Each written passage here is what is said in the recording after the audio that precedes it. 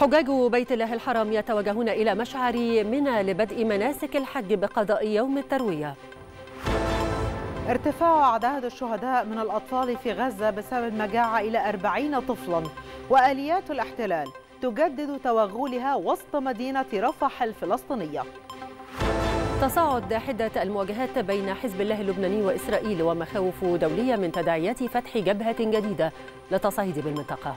الثالثة مساء بتوقيت القاهرة الثانية عشرة بتوقيت جرينتش نشرة إخبارية مفصلة تأتيكم من التلفزيون المصري. أهلا بكم.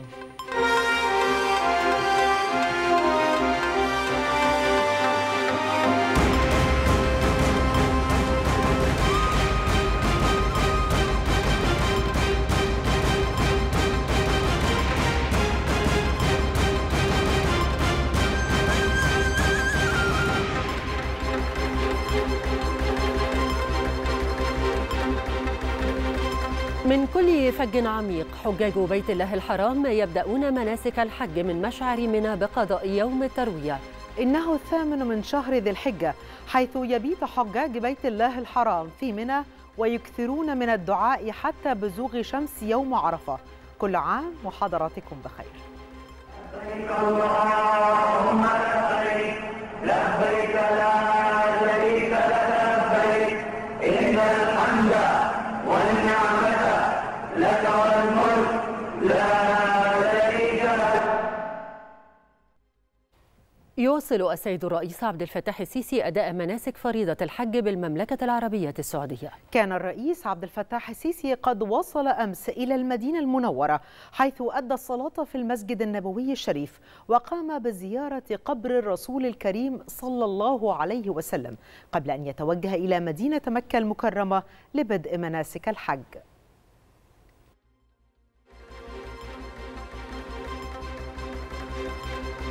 لبيك اللهم لبيك لبيك لا شريك لك لبيك إن الحمد والنعمة لك والملك لا شريك لك. لبيك اللهم لبيك لبيك لا شريك لك لبيك إن الحمد والنعمة لك والملك لا شريك لك. لبيك اللهم لبيك. لبيك لا شريك لك. لبيك إن الحمد والنعمة لك والملك لا شريك لك. إن الحمد والنعمة لك والملك لا اللهم لبيك لبيك لا شريك لك لبيك. إن الحمد والنعمة لك والملك لا شريك لك. لبيك اللهم لبيك لبيك لا شريك لك لبيك.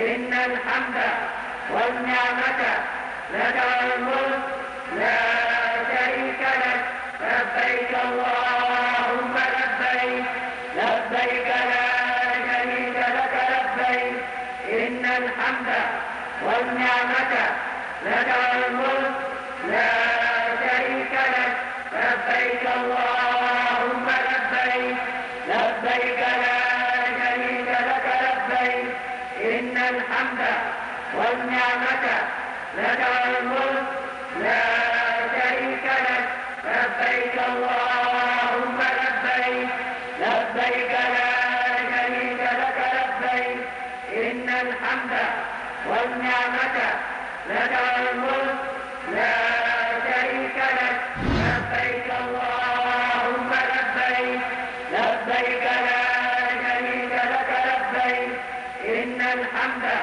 والنعمة لك والملك لا شريك لك لبيك اللهم لبيك لبيك لا شريك لك لبيك إن الحمد والنعمة لك والملك لا شريك لك لبيك اللهم لبيك لبيك لا شريك لك لبيك إن الحمد لك الملك لا شريك لك. بدأ حجاج بيت الله الحرام مناسك الحج بالتوجه إلى مشعر منى لقضاء يوم التروية. هذا ومن المقرر أن يتم تصعيد ضيوف الرحمن غدا السبت الموافق التاسع من شهر ذي الحجة إلى صعيد عرفات اقتداء بسنة المصطفى صلى الله عليه وسلم وسط منظومة خدمات وإجراءات متكاملة على المستويات كافة الأمنية والصحية والخدمية. من جانبها فرضت قوات أمن الحج والأجهزة المعاونة أطواقا أمنية واسعة لضمان أمن الحجيج وتيسير تفويجهم وتنقلاتهم في مناطق المشاعر وفق التوقيتات المحددة. لبيك اللهم لبيك لبيك لا شريك لك لبيك. إن الحمد والنعمة لك والملك لا شريك لك. لبيك اللهم لبيك. لبيك لا شريك لك. لبيك إن الحمد والنعمة لك والملك لا شريك لك. لبيك اللهم لبيك.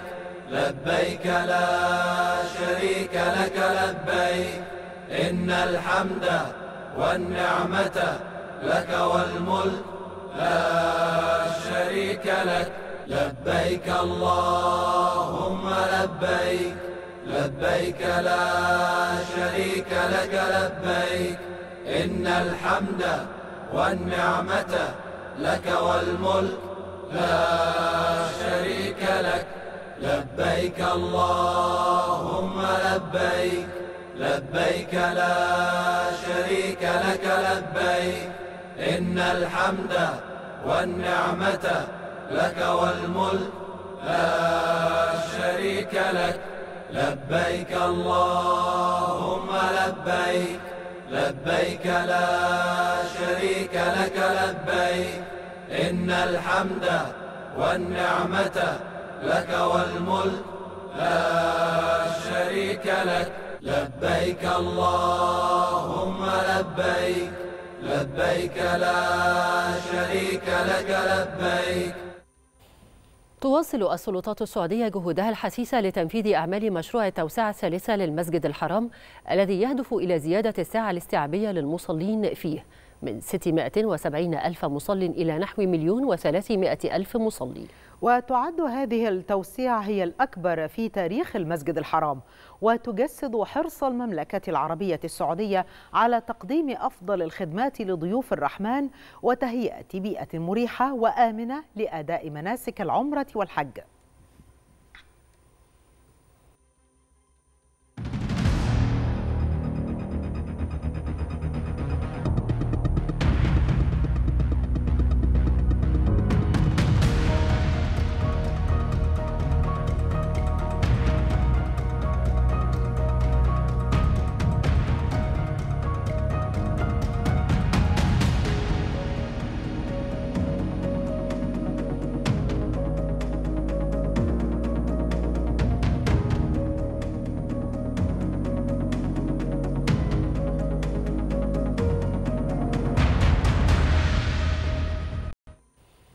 استكمالا للمعاناة الإنسانية التي يعيشها أهالي قطاع غزة لم يتمكن الفلسطينيون من السفر إلى مكة لأداء فريضة الحج هذا العام. يأتي ذلك بسبب تعنت إسرائيل وإغلاقها معبر رفح من الجانب الفلسطيني منذ شهر مايو الماضي ضمن هجومها البرية على مدينة رفح الفلسطينية. والله متألم كثير. أقول لك مش متألم عشان الحج والله متألم. هذه مناسك وهذه فريضة لازم نأديها.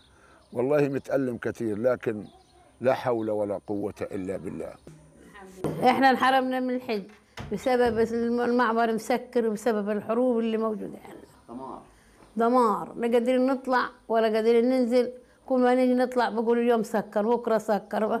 نقدرش نطلع ولا ننزل العدوان الإسرائيلي على قطاع غزة واحتلال معبر رفح وإغلاقه وتدمير مقر وزارة الأوقاف الرئيس في غزة حال دون إتمام أي إجراء يتعلق بموسم الحج هذا العام. أعلنت مصادر طبية وفاة طفل بسبب المجاعة والجفاف ما يرفع عدد ضحايا سوء التغذية في قطاع غزة إلى 40 ضحية. وقالت المصادر الطبية إن الطفل توفي نتيجة سوء التغذية والجفاف ونقص الإمدادات الطبية في مستشفى شهداء الأقصى بمدينة دير البلح. في وسط قطاع غزة. وفي شمال قطاع غزة قال مدير مستشفى كمال عدوان أنه تم تسجيل أعراض سوء التغذية لدى أكثر من 200 طفل في قطاع غزة مشيرا إلى أن شبح المجاعة يلوح في الأفق حيث لا تتوفر مواد غذائية غير الطحين. جددت الآليات العسكرية لجيش الاحتلال الإسرائيلي توغلها في وسط مدينة رفح الفلسطينية جنوبي قطاع غزة. وفي السياق ذاته سمع دوي اشتباكات وتجدد القصف المدفعي في حي الشبورة والبرازيل وسط وشرقي مدينة رفح الفلسطينية. كانت طائرات جيش الاحتلال قد شنت غارات جوية عنيفة على منطقة غربي مدينة رفح الفلسطينية فيما قصفت المدفعية الإسرائيلية بشكل مركز مناطق شمال شرقي مدينة خان يونس.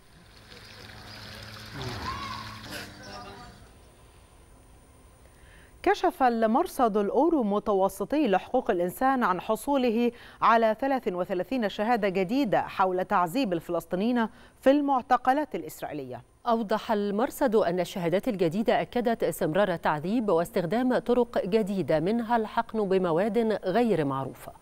مؤكدا أن استمرار التعذيب في المعتقلات الإسرائيلية هو نتاج ترك سلطات الاحتلال دون رقيب من الهيئات الدولية المعنية بهذه الأمور. داعيا المحكمة الجنائية الدولية لإصدار مذكرات توفيق أو توقيف بحق القيادات العسكرية التي تقف خلف جرائم التعذيب بوصفها جرائم حرب.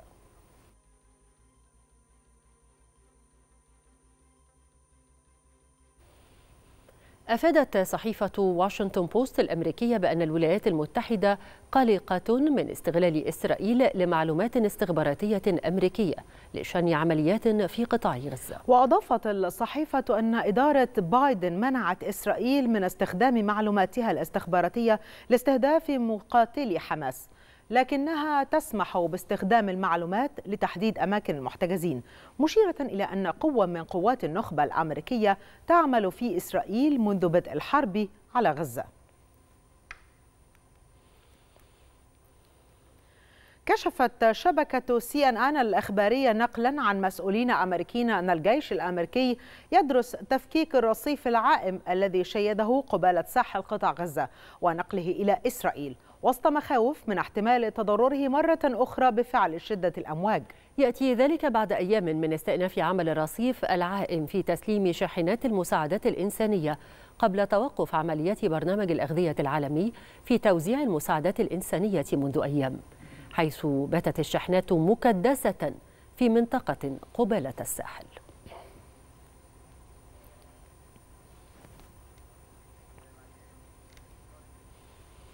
وصفت الولايات المتحدة الأمريكية قرار وزير المالية الإسرائيلي بانقطاع نحو 35 مليون دولار من عائدات الضرائب التي تم تحصيلها لصالح السلطة الفلسطينية وتحويلها إلى عائلات المحتجزين بالخطأ. وأشارت واشنطن إلى أنها أوضحت لتل أبيب أن هذه الأموال تعود للشعب الفلسطيني مؤكدة ضرورة تحويلها إلى السلطة الفلسطينية على الفور.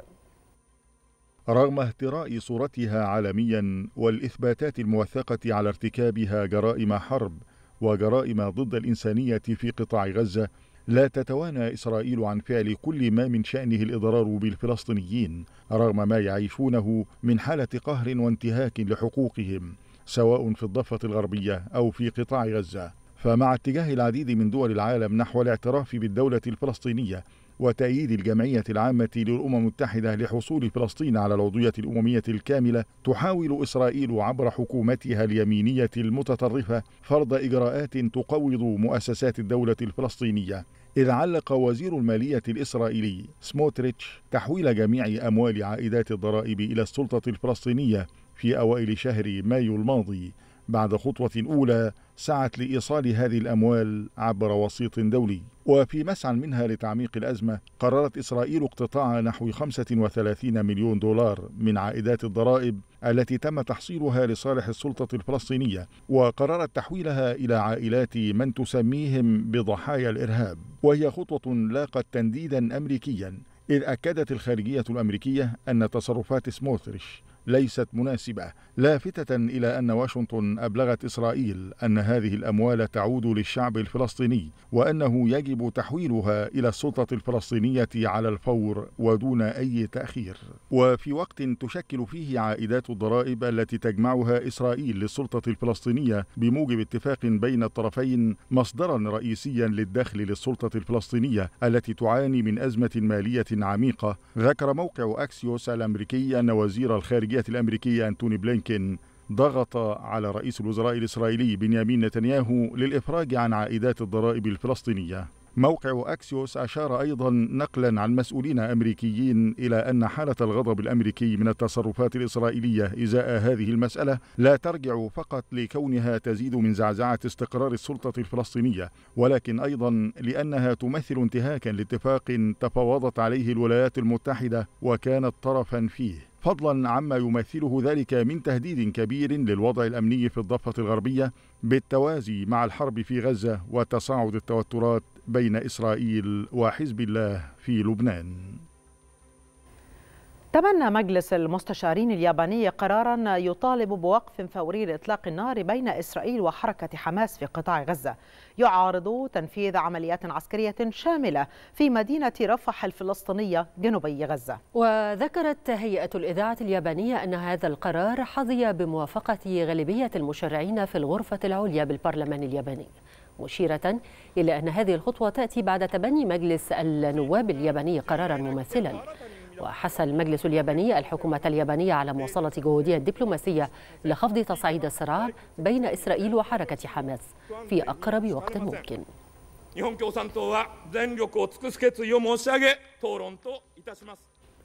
كشف زعيم حزب العمل الإسرائيلي إيرجولان أنه كان من الممكن الوصول لصفقة وإنهاء الحرب في غزة منذ أربعة أشهر.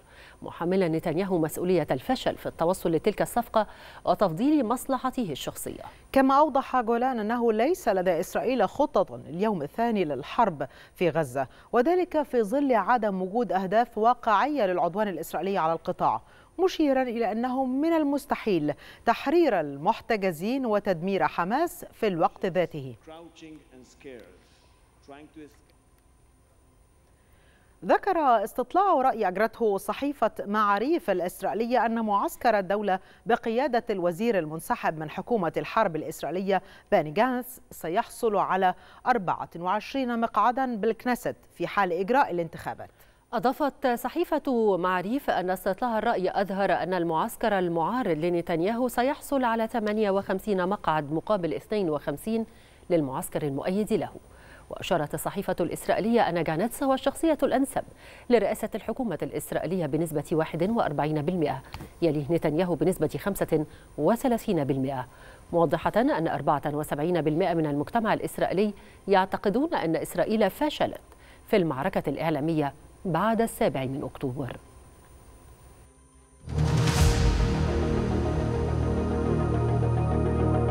إن مصر أدانت منذ البداية استهداف وقتل الأبرياء وترويع جميع المدنيين من الجانبين وجميع الأعمال المنافية للقانون الدولي والقانون الدولي الإنساني. ونؤكد اليوم من جديد هذه الإدانة الواضحة مع التجديد في الوقت ذاته على أن سياسات العقاب الجماعي لأهالي غزة من قتل وحصار وتهجير قسري غير مقبول. تواصل مصر تكثيف جهودها في تجهيز المساعدات الإنسانية المتجهة للأشقاء الفلسطينيين بمنفذ كرم أبو سالم. من خلال معبر رفح البري إلا أن الاحتلال الإسرائيلي يواصل إجراءاته التعسفية في التي تحول دون إدخال أكبر عدد ممكن من المساعدات خاصة الوقود. مزيد من التفاصيل اطلعنا عليها الزميل محمود جميل مراسل التلفزيون المصري. أهلا بكم وبكل السادة المشاهدين لازلنا نتابع معكم الجهود المصرية المتواصلة لتكثيف إنفاذ المساعدات الإنسانية عبر منفذ كرم أبو سالم. لعلكم ترون من خلفي في هذه الصورة كم الشاحنات المصطفى في مدينة العريش آلاف الشاحنات التي تستعد للذهاب يوميا إلى معبر رفح البري للدخول لقطاع غزة. لكن لازال الاحتلال الإسرائيلي يواصل الإجراءات التعسفية التي تحول دون إدخال أكبر عدد من المساعدات الإنسانية. اليوم مصر جهزت ما يقرب من 96 شاحنة اتجهوا لمنفذ كرم أبو سالم. تم قبول 19 شاحنة فقط وعودة باقي الشاحنات ومن هذه الشاحنات بعض الشاحنات التي كان بها أدوية لكن لم يتقبل الجانب الإسرائيلي الشاحنات التي تم تجهيزها اليوم لأسباب يعني تعود للإجراءات التعسفية المتواصلة أو ربما لتكدس الشاحنات في منفذ كرم أبو سالم. وهذه نقطة أيضا تدل على أنه لا يتم دخول أكبر عدد من المساعدات إلى الجانب الفلسطيني ويتعمد الاحتلال الإسرائيلي تكدس هذه الشاحنات أمام منفذ كرم أبو سالم وعدم دخولها للأشقاء الفلسطينيين. أيضا اليوم لم يتم دخول أي من شاحنات الوقود والأمس لم يدخل سوى أربع شاحنات فقط للغاز وعادت ما يقرب من ثماني شاحنات للسولار. نتحدث عن هذه الكمية القليلة التي تصل إلى قطاع غزة ونحن نتحدث عن أنه غدا أيضا السبت سيكون يوم إجازة بالنسبة لمنفذ كرم أبو سالم فبالتالي غدا أيضا لن يتم دخول هذه المساعدات. فيما يتعلق بالوضع الميداني صباح هذا اليوم كانت هناك بعض أعمدة الدخان في المناطق الشرقية من معبر رفح الجانب الفلسطيني وسماع دوي الانفجارات هناك لكن لازال الوضع أو الجانب المصري يكثف من جهوده لإنفاذ أكبر عدد من المساعدات الإنسانية وأيضا الوصول لوقف إطلاق نار كامل داخل قطاع غزة. هذه هي الصورة والآن أعود إليكم في الاستوديو مرة أخرى.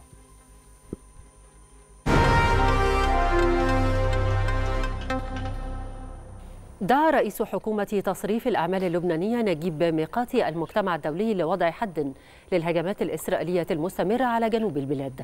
وشدد ميقاتي على أن ما تفعله إسرائيل في جنوب لبنان هو عدوان تدميري وإرهابي. ينبغي على المجتمع الدولي أن يضع حدا لتماديه وإجرامه. كانت وكالة الأنباء اللبنانية قد أفادت بإطلاق أكثر من 30 صاروخا من جنوب لبنان باتجاه مواقع إسرائيلية في منطقة إصبع الجليل. كما أفادت وسائل أعلام إسرائيلية بإطلاق 20 صاروخا على الأقل على الجليل الأعلى بشمونة من جانبه أعلن حزب الله اللبناني أنه استهدف بأسلحة صاروخية تجمعا لجنود الاحتلال الإسرائيلي في خلة وردة. كما أعلن الحزب قذف موقع الرمثة في تلال كفر شوبة اللبنانية المحتلة وإصابته مباشرة بالأسلحة الصاروخية. في المقابل شنت إسرائيل غارات مكثفة على جنوب لبنان وأوقعت عددا من القتلى والمصابين ردا على الهجمات الأخيرة التي شنها حزب الله اللبناني وردا على التحذيرات من التصعيد على الحدود اللبنانية الإسرائيلية. استبعد وزير الدفاع الإسرائيلي يواف جالانت الانضمام إلى مبادرة روج لها أو روج لها الرئيس الفرنسي إيمانويل ماكرون والتي تشكل فرنسا والولايات المتحدة وإسرائيل بموجبها. مجموعة اتصال للعمل على نزع فتيل التوتر على حدود إسرائيل مع لبنان. تصعيد مستمر وتطورات لا تنتهي وأحداث تنذر بمزيد من المواجهات وعدم الاستقرار في المنطقة. هذا هو الوضع على الحدود اللبنانية الإسرائيلية. وفي هذا الإطار جاءت الغارات الإسرائيلية على جنوب لبنان موقعة عددا من القتلى والمصابين وذلك ردا على قيام حزب الله بشن هجمات متزامنة على مواقع عسكرية في إسرائيل التي توعدت من جانبها بالرد بقوة على جميع اعتداءات حزب الله. حزب الله اللبناني أعلن أنه استهدف بصواريخ الكاتيوشا والفلق ست ثكنات ومواقع عسكرية في شمال إسرائيل وهضبة الجولان المحتلة. ومنذ اندلاع العدوان الإسرائيلي على غزة يتبادل حزب الله اللبناني وإسرائيل القصف بشكل شبه يومي. وهو ما يهدد بمزيد من التوترات وفتح جبهات جديدة في المنطقة. وفي محاولة لمنع سيناريو الجبهة الجديدة قال الرئيس الفرنسي إيمانويل ماكرون إن الولايات المتحدة وفرنسا وإسرائيل اتفقت على العمل معا لتعزيز جهود المضي قدما في تنفيذ خارطة طريق قدمتها باريس في وقت سابق من هذا العام لنزع فتيل التوتر بين حزب الله اللبناني وإسرائيل. وعملت باريس وواشنطن في الأشهر الماضية على محاولة التهدئة حيث قدمت فرنسا مقترحات مكتوبة إلى الجانبين استهدفت وقف تبادل إطلاق النار على الحدود بين لبنان وإسرائيل.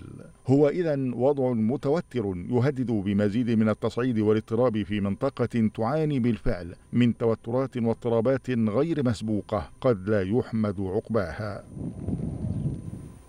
أعلنت القيادة الأمريكية المشتركة سنتكوم استهداف نظام استشعار للدفاع الجوي تابع لقوات الحوثي. وذكرت سنتكوم أنه تم تدمير قارب مسير وزورقين في البحر الأحمر إضافة إلى إسقاط طائرة مسيرة انطلقت في مناطق قوات الحوثي باتجاه البحر الأحمر. مشيرة إلى تعرض ناقلة بضائع مملوكة لأوكرانيا للقصف للمرة الثانية خلال 24 ساعة الماضية. تصعيد بالغ التعقيد على طرق الملاحة الدولية في جنوب البحر الأحمر. هجمات قوات الحوثي لم تتوقف على خلفية تداعيات العدوان المتواصل على غزة رغم التحالف الدولي الذي شكلته الولايات المتحدة بمشاركة عدة دول للتصدي لهذه الهجمات التي تستهدف السفن الداعمة لإسرائيل. وفي إطار عملياته لإضعاف قدرات قوات الحوثي أعلن الجيش الأمريكي تدمير زورقي دورية وقارب مسير وطائرة مسيرة تابعة لقوات الحوثي فوق البحر الأحمر. وذلك عقب إعلان الأخيرة استهداف السفن فربينا في بحر العرب وسيجرديان وأسينا في البحر الأحمر. هذا بالتزامن مع تأكيدات القيادة المركزية الأمريكية أن قوات الحوثي أطلقت صاروخين باليستيين مضادين للسفن من منطقة خاضعة لسيطرتها في اليمن إلى البحر الأحمر دون أن يسفر عن أضرار أو إصابات.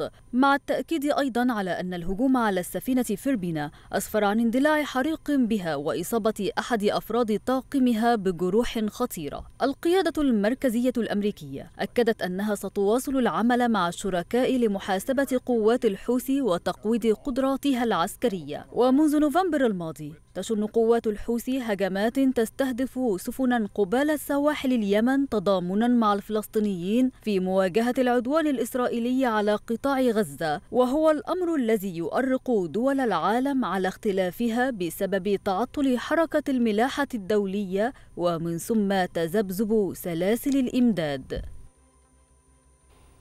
حث زعماء مجموعة السبع الجهات الخارجية على التوقف عن تأجيج الصراع في السودان الذي يتدهور باستمرار مع تزايد أعداد الضحايا المدنيين.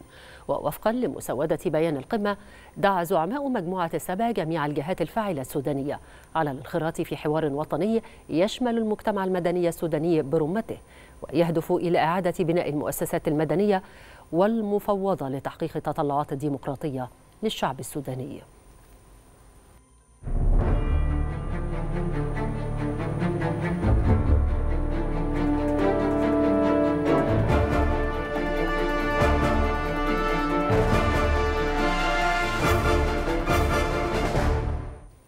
قال الرئيس الروسي فلاديمير بوتين إن الخطر على الدول الأوروبية لا يأتي من روسيا بل من الولايات المتحدة محذرا من احتمال انزلاق الأوضاع نحو الفوضى. وخلال كلمة له أضاف بوتين أن الغرب يحاول التوصل لأساس قانوني لتجميد الأصول الروسية وأن هذه المحاولات لن تبقى دون عواقب.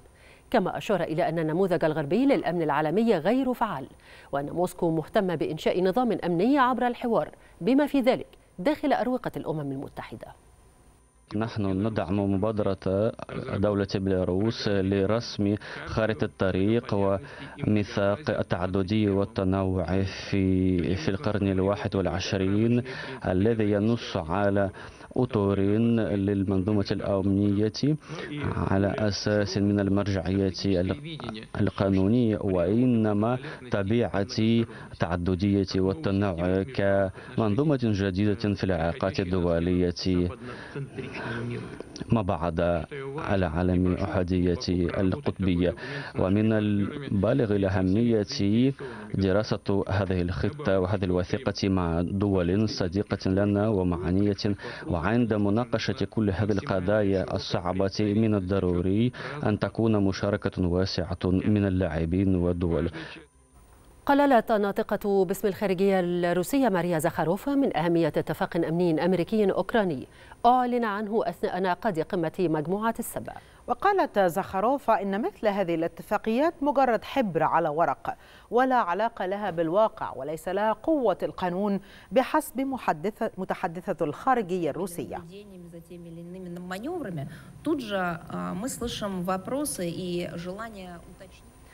كان الرئيس الأمريكي جو بايدن والرئيس الأوكراني فلاديمير زيلانسكي قد وقعا اتفاقا أمنيا ثنائيا مدته عشر سنوات. يستهدف تعزيز دفاعات أوكرانيا أمام روسيا. وسيمثل الاتفاق إطار عمل لجهود أمريكية طويلة الأمد للمساعدة في تطوير القوات المسلحة الأوكرانية المتأخرة من حيث العتد وخطوة نحو عضوية أوكرانيا في حلف شمال الأطلسي في نهاية المطاف. ووفقا لنص الاتفاقية. قال الرئيس الأمريكي إن بلاده تهدف لتعزيز قدرات أوكرانيا الدفاعية والردع التي يمكن الاعتماد عليها في الأمد الطويل.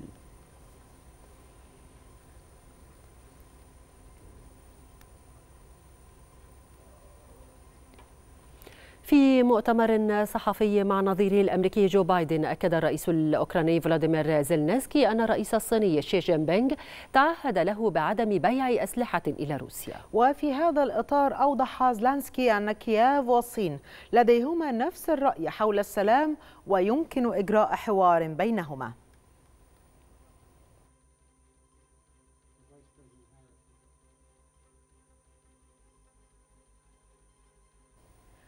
توصلت مجموعة السبع لاتفاق لاستخدام أصول موسكو المجمدة لمساعدة كييف. وفرضت الخزانة الأمريكية عقوبات على أكثر من 300 فرد وكيان يساعدون روسيا. على هامش قمة مجموعة السبع في جنوب إيطاليا رحب المستشار الألماني أولف شولز بما اعتبره اتفاقا تاريخيا تم التوصل إليه في شأن استخدام الدول الغربية للأصول الروسية المجمدة بهدف مساعدة أوكرانيا. شولتز قال إن هذا الاتفاق يشكل قاعدة لتتمكن أوكرانيا من الحصول على كل ما تحتاج إليه في مستقبل قريب على صعيد الأسلحة وأيضا على صعيد الاستثمارات في إعادة الإعمار. مضيفا أنه إشارة واضحة إلى الرئيس الروسي تؤكد تضامن الغربيين مع كييف. رئيسة الوزراء الإيطالية جورجيا ميلوني من جهتها أكدت أن قادة مجموعة السبع توصلوا إلى اتفاق في شأن استخدام أصول روسية مجمدة بقيمة 50 مليار دولار بحلول نهاية العام لمساعدة أوكرانيا.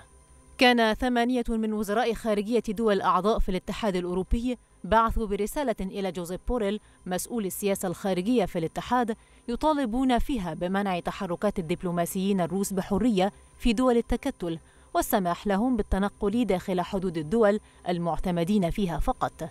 كما فرضت وزارة الخزانة الأمريكية عقوبات على أكثر من 300 فرد وكيان يساعدون روسيا في مواصلة المجهود الحربي بأوكرانيا. في المقابل دعا نائب رئيس مجلس الأمن الروسي ديمتري ميدفيديف إلى الرد على العقوبات الغربية بمبدأ العين بالعين وتحويل حياة الغرب إلى كابوس كامل. كما مدد الرئيس الروسي فلاديمير بوتين إجراءات انتقامية اتخذتها موسكو للرد على سقف الأسعار الذي فرضته الدول الغربية على النفط الروسي حتى نهاية عام 2024 ومنعت الحكومة الروسية مصدري النفط المحليين والهيئات الجمركية من الالتزام بالحدود القصوى لأسعار النفط التي فرضها الغرب على الخام الروسي. أعلنت روسيا إسقاط 87 مسيرة أوكرانية استهدف 70 منها منطقة روستوف والتي تضم مقر عمليات موسكو العسكرية ضد كييف. في المقابل قال الجيش الأوكراني إنه تمكن من إسقاط 17 طائرة مسيرة وسبعة صواريخ من أصل 14 أطلقتها روسيا في هجوم على أوكرانيا.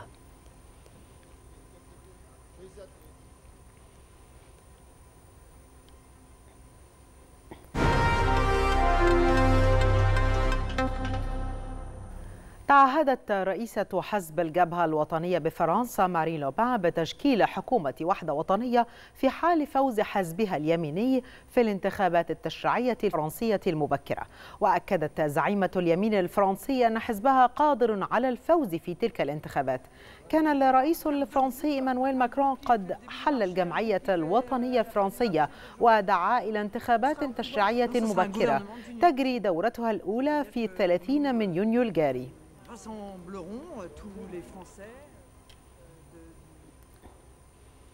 حذر مسؤولان من كوريا الجنوبية والولايات المتحدة من أن زيارة الرئيس الروسي فلاديمير بوتين المحتملة والوشيكة لكوريا الشمالية. قد توطد العلاقات العسكرية أو توطد العلاقات العسكرية بين البلدين في انتهاك لقرارات مجلس الأمن التابع للأمم المتحدة. واتفق كيم هونج كيون نائب وزير الخارجية الكوري الجنوبي في اتصال هاتفي طارئ مع كيرت كامبل نائب وزير الخارجية الأمريكي. اتفقا على مواصلة التعاون الوثيق للرد على استفزازات كوريا الشمالية. وتعهد المسؤول الأمريكي بالتنسيق من أجل التصدي لزعزعة الاستقرار المحتملة في المنطقة ومواجهة التحديات الناجمة عن زيارة الرئيس الروسي.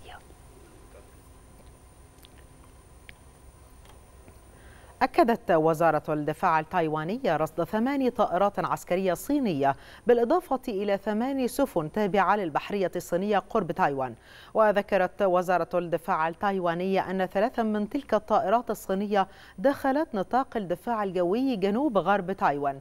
مشيرة إلى أن القوات المسلحة التايوانية تراقب الموقف وأنها تتصرف حسب ما يتطلب الأمر بالطريقة المناسبة. من جانبها أشارت صحيفة تايوان نيوز إلى أن تايي رصدت خلال شهر يونيو الحالي أنشطة لطائرات عسكرية صينية قرب أراضيها بأكثر من 132 مرة بينما رصدت أنشطة لسفن تابعة للبحرية الصينية وحرس السواحل بأكثر من 109 مرات.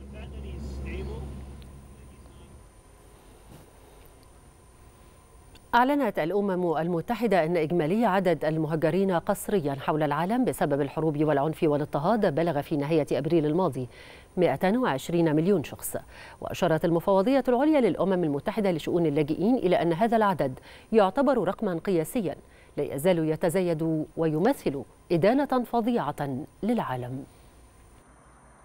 ليست مجرد أرقام قياسية صادمة فحسب بل نزيف لا يتوقف من البشر يتحرك في أي اتجاه صانعا مأساة من لحم ودم هاربا من الموت كلما اشتعلت الحرب في مكان ما على خريطة العالم ليصنع أزمة اللاجئين. بحسب المفوضية السامية للأمم المتحدة لشؤون اللاجئين فإن عدد النازحين قسرا وصل لرقم قياسي بلغ 117.3 مليون في عام 2023 وهو رقم لا يتوقف يتوقف عن التضخم يوما بعد يوم. تقديرات المفوضية تشير إلى أن النزوح القسري استمر في التزايد في الأشهر الأربعة الأولى من عام 2024 ومن المرجح أن يتجاوز عدد النازحين 120 مليونا بنهاية أبريل الماضي وهي أرقام تشير إلى نقطتي الاشتعال الأكثر التهابا في الشرق الأوسط. غزة والسودان. إلى جانب نقاط أخرى تقف على حافة صراعات جديدة. إن لم يكن هناك تحول في الجغرافيا السياسية الدولية لسوء الحظ أرى أن هذا الرقم مستمر في الارتفاع ربما ليس بشكل ملحوظ إذا كنا محظوظين ولم تكن لدينا صراعات جديدة ولكن حتى عدم حل القضايا القديمة يعني أن أعداد اللاجئين تتزايد أيضا. لذا ما زلت آمل أن يرى شخص ما أن هناك حاجة لذلك الضوء في نهاية النفق لكن في الوقت الحالي أظل حذرا للغاية في هذا الصدد. By different الحرب في غزة تتصدر تلك الأرقام بامتياز مع تحرك النازحين من مكان لآخر على مدار شهور عديدة هاربين كالطريدة من قصف لا يتوقف ليلا أو نهارا بلا مناطق آمنة ولا رادع دولي 120 million. This is a pretty high figure. إن حدوث أزمة لاجئين جديدة خارج غزة ستكون كارثية على كافة المستويات خاصة وأنه ليس لدينا ضمان بأن هؤلاء الأشخاص الأشخاص سيتمكنون من العودة إلى غزة في يوم من الأيام وخاصة لأن اللاجئين الفلسطينيين كما تعلمون جيدا يمثلون إحدى المشاكل التي لم يتم حلها في الصراع الإسرائيلي الفلسطيني. ولذلك فإننا نضيف بعدا أكثر تعقيدا للعملية السلمية التي لا تمضي قدما والتي هي بالفعل صعبة للغاية. السودان أكثر الصراعات إيلاما وأقلها اهتماما من جانب المجتمع الدولي أفرزت حركة فرار قوية نزح فيها أكثر من تسعة ملايين شخص داخليا وفر مليونان آخران إلى دول مجاورة بما في ذلك مصر وتشاد وجنوب السودان صانعين أزمات اقتصادية لا تقل ضراوة عن الحرب. وعلى قائمة اللاجئين تأتي أيضا الهجرة غير الشرعية عن طريق البحر والتي تجبر اللاجئين على الفرار إلى البحر ليس نجاة بحياتهم ولكن بالموت على طريقتهم.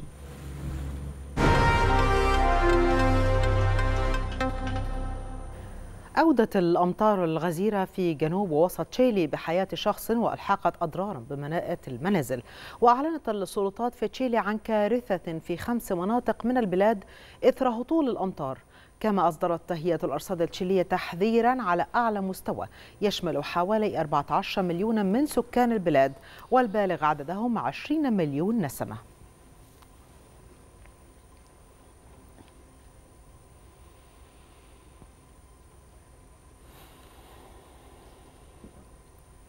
لقي نحو ستة أشخاص حتفهم وتقطعت السبل بنحو ألفي سائح في ولاية سكيم بمنطقة جبال الهيمالايا بالهند.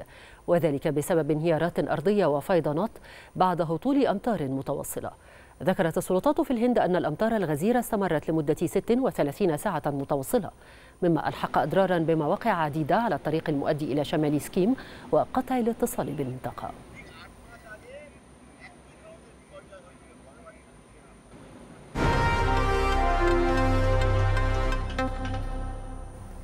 أكدت الصين أنها تحتفظ بحق التقدم بشكوى لدى منظمة التجارة العالمية بشأن الرسوم الجمركية الجديدة التي يعتزم الاتحاد الأوروبي فرضها على وارداتها من السيارات الكهربائية.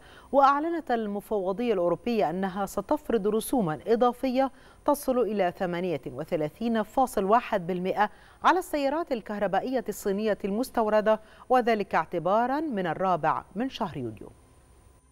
بعد أقل من شهر على إعلان واشنطن عزمها زيادة الجمارك على المركبات الكهربائية المستوردة من الصين إلى 100% تأتي خطوة مماثلة من القارة العجوز بإعلان المفوضية الأوروبية اعتزامها فرض رسوم إضافية اعتبارا من الرابع من يوليو المقبل. وتفرض على المركبات المصنعة في الصين حاليا رسوم بنسبة 10% وتخطط بروكسل لزيادة هذه الرسوم بنسب تتراوح بين 17% إلى 38.1%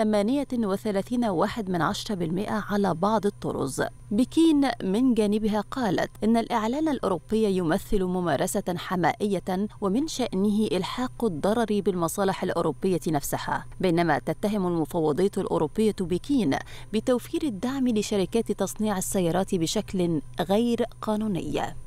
وتواجه شركات صناعة السيارات الأوروبية تحديات أمام تدفق السيارات الكهربائية المنخفضة التكلفة من المنافسين الصينيين حيث تشير تقديرات أوروبية إلى أن الحصة الصينية في سوق الاتحاد الأوروبي ارتفعت إلى 8% مقارنة بأقل من 1% في عام 2019 ويتوقع الاتحاد الأوروبي أن تصل إلى 15% في عام 2025 فضلا عن أن الأسعار عادة ما تكون أقل بنحو 20% من أسعار الطرز المصنوعة في الاتحاد الأوروبي.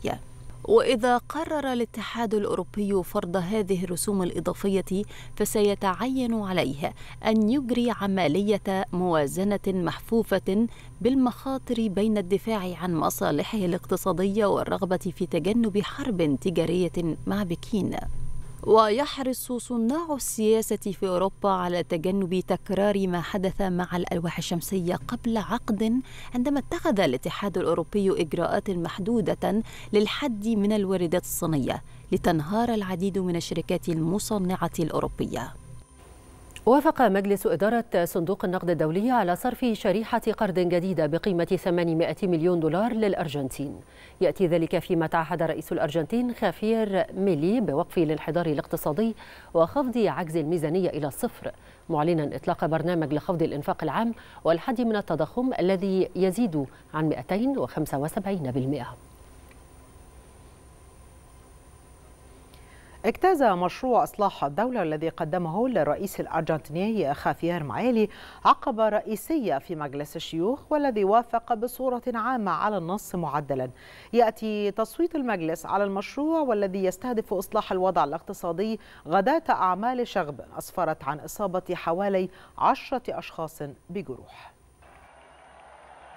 سياسات جديدة لعلاج الأزمة الاقتصادية الأصعب في البلاد يتبناها رئيس الأرجنتين الجديد خافير مايلي. مايلي الليبرالي قدم للكونغرس قانونا شاملا يلخص رؤيته للإصلاح في البلاد ويشمل تقليص دور الدولة في ظل حالة التعثر الاقتصادي وبلوغ معدلات التضخم نحو 211% مشروع القانون الذي قدمه مايلي اجتاز عقبة رئيسية في مجلس الشيوخ وبعد إقراره بصورة عامة من المفترض المفترض أن يناقش أعضاء المجلس النص بالتفصيل وأن يصوتوا على بنوده ال 238 بندا تلو الآخر. وبعد إقرار هذه البنود من المفترض أن يصوت المجلس مجددا على النص بأكمله ليحال بعدها إلى مجلس النواب لإقراره بصورة نهائية. وبينما كانت المناقشات تجرى داخل أروقة مجلس الشيوخ شهدت الساحة الخارجية للكونغرس تظاهرات غاضبة تخللتها صدامات مع المحتجين والشرطة. الشرطة أوقعت سبعة جرحى اعتراضا على مشروع القانون. في غضون ذلك جدد البنك المركزي الأرجنتيني اتفاقية مبادلة العملة مع السلطات النقدية الصينية وتم تمديد خطة المقايضة التي يبلغ قيمتها خمسة مليارات دولار حتى يوليو من عام 2026 ليؤكد تجديد هذا الاتفاق على التزام الإدارة الحالية للبنك المركزي بالتصدي للتحديات الاقتصادية التي تواجهها الأرجنتين.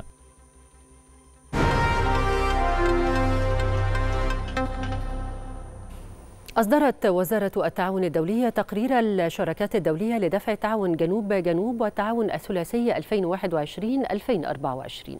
استرد التقرير استراتيجية التوسع في تكرار تجارب التنمية الناجحة بين الدول النامية والناشئة ودفع جهود تبادل الخبرات والتكنولوجيا بين الدول النامية. أبرز التقرير مبادرة حياة كريمة ومجمع بنبان للطاقة الشمسية ومنظومة معالجة مياه بحر البقر وبرنامج تكافل وكرامة كأمثلة للتجارب التنموية القابلة للتكرار في دول الجنوب. كما أشار التقرير إلى أن التعاون الجنوب جنوب يعزز الوعي بالتحديات المشتركة للدول النامية ويحفز الحلول المبتكرة ويدعم القدرة على الصمود في مواجهة الصدمات. تستمر الدولة في جهودها لتوفير السلع الأساسية للمواطنين على مدار العام.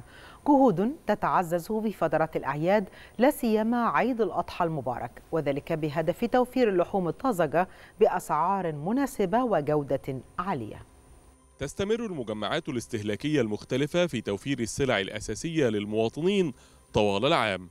ومن أهم ما توفره المجمعات هي اللحوم الطازجة. ويهل علينا عيد الأضحى هذا العام باستعدادات مكثفة من المجمعات الاستهلاكية لاستقبال المواطنين. اللحوم متوفرة يوميا بكميات كبيرة وبأسعار مخفضة عن بقية المنافذ وعن بقية المنافس عندنا يوميا إحنا بنضخ في كل موقع على مستوى الجمهورية أكثر من 2 طن للفرع الواحد. طبعا مش مش مش كمياته بس لا ده جودة. السلع الأساسية طبعا بتتوفر في المجمعات بشكل ثابت وكامل بشكل يومي من السلع الأساسية زي الزيت زي السكر زي الرز زي المكرونات زي الجبن زي الألبان. بالإضافة على كده زائد طبعا صرف السلع أو المقررات التموينية بشكل يومي على مدار الشهر واخد بال حضرتك من فرق عيش أو تموين. ومن أهم هذه المميزات طبعا في العيد أو الأعياد بشكل كامل اللحوم متواجدة بشكل يومي بس في العيد بيتم. زي ما حضرتك شايف كده كميات كبيرة من اللحوم الطازة. وتوفر المجمعات الاستهلاكية مئات من أطنان اللحوم السودانية يوميا بالإضافة للحوم الجيبوتي والمبردة والتي تأتي بأسعار أقل من السوق وجودة أعلى وبضمان أكبر. اللحمة تنزل كل يوم لحمة سوداني طازة بسبع ثمان عجول. ماشي؟ في ضاني كمان بينزل ب 360 بلدي. في ضاني سوداني فريش بينزل ب 335 لحمة مفرومة ب 285 كبدة طازة ب 285 عامة أنا جربت اللحمة دي كذا مرة. كويس. حقيقي يعني وما بتاخدش سوا كتير. اللي أنا جربتها. مش عارف لو أخدها النهاردة تبقى كويسة ولا عشان الحق أكون منصف يعني. بره دلوقتي في أسعار ب 260 في أسعار ب 300 تمام؟ دكورة بيقولوا. هنا بقى 285 والله اللحمة السوداني إحنا عارفينها من زمان إن هي كويسة. المرعى بتاع السودان حلوة وكانوا بيجيبوا لنا اللحمة يعني بتبقى كويسة ويعني طعمها حلو. ويعد مجمع الجيزة الاستهلاكي من أهم المجمعات التي تخدم عددا كبيرا من المواطنين حيث أن مواعيد عمله تبدأ من التاسعة صباحا وحتى التاسعة مساء ويستمر حتى ثالث أيام عيد الأضحى المبارك. كريم بيبرس التلفزيون المصري.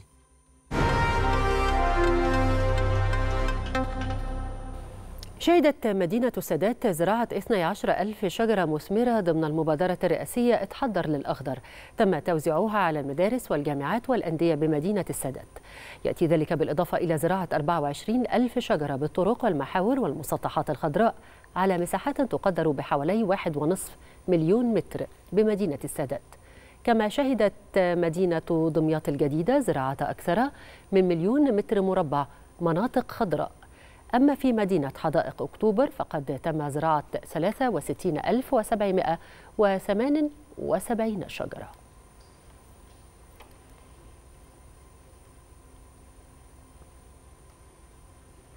شهدت محافظة بني سويف زراعة 100% من المستهدف من الأشجار هذا العام. يأتي ذلك ضمن المرحلة الثانية من المبادرة الرئاسية للتشجير 100 مليون شجرة والتي تستهدف زيادة المساحات الخضراء وتحسين نوعية الهواء وخفض نسبة الاحتباس الحراري. استلمت محافظة بني سويف حوالي المرحلة الأولى 170 ألف شجرة وحققت مستهدف ليها 234 اللي كان المستهدف لينا 54 ألف شجرة لكن الحمد لله قدرنا نحقق مستهدف وكان من أهم معايير التميز والأداء اللي الحكومة حصلت عليه محافظة بني سويف على جائزة الدولة في التميز الحكومي. المرحلة الثانية كانت 105 ألف شجرة استلمتهم محافظة بني سويف وتم زراعتهم بالفعل بنسبة 100% الشجر ده عبارة عن نوعين شجر مثمر وشجر غير مثمر الشجر المثمر بنحطه في أماكن مغلقة معايير الاستدامة داخل المحافظة. كان أول حاجة إن إحنا نوفر مصدر ري دائم بنزرع على أماكن الأشجار المذكوره داخل أماكن مغلقة خوفا من التعديات عليها. ثاني حاجة إن إحنا بنكون نزود النمو الأخضر داخل المحافظة لمقاومة الاحتباس الحراري في الفترات القادمة. شهدت محافظة أسوان زراعة أشجار الظل والمثمرة بواقع 78 ألف شجرة دون فاقد. يأتي ذلك في إطار المضي قدما وبمعدلات إنجاز سريعة في تنفيذ المبادرة الرئاسية لزراعة 100 مليون شجرة. هذا وقد تم زراعة الكميات المخصصة بكل مركز ومدينة بالكامل من أجل خلق بيئة صحية نظيفة وآمنة للمواطنين. في ضوء توجيهات فخامة الرئيس عبد الفتاح السيسي ومبادرة 100 مليون شجرة. محافظة أسوان كان ليها الكم الأكبر من آلاف الأشجار وأنواع مختلفة. ما تستهلكش مياه كثيرة تستحمل ارتفاع درجات الحرارة خيمية في نموها عشان اخد أكبر مساحة في الظل. عشان حضرتك تعلم درجة حرارة أسوان مرتفعة غير باقي المحافظات. فكان محافظة أسوان ليها النصيب الأكبر من آلاف الأشجار. نهاية النشرة ولم يتبقى لنا سوى التذكرة بأبرز ما جاء فيها من أخبار. حجاج بيت الله الحرام يتوجهون إلى مشعر منى لبدء مناسك الحج وقضاء يوم التروية. ارتفاع أعداد الشهداء من الأطفال في غزة بسبب المجاعة إلى 40 طفلا وآلية الاحتلال تجدد توغلها في وسط مدينة رفح الفلسطينية. تصاعد حدة المواجهات بين حزب الله اللبناني وإسرائيل ومخاوف دولية من تداعيات فتح جبهة جديدة للتصعيد بالمنطقة. مشاهدينا الكرام وصلنا مع حضراتكم لختام نشرة الثالثة من التلفزيون المصري. شكرا لكم. إلى اللقاء.